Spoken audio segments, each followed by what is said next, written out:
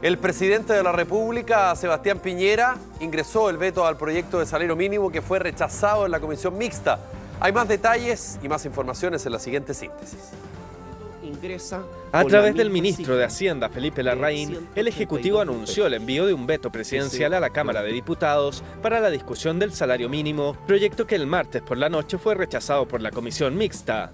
Con esta medida, tanto la Cámara Baja como el Senado tendrán tres días para discutir la iniciativa, la que ingresará con el mismo monto que se rechazó, un reajuste del 5,7% que equivale a 182 mil pesos.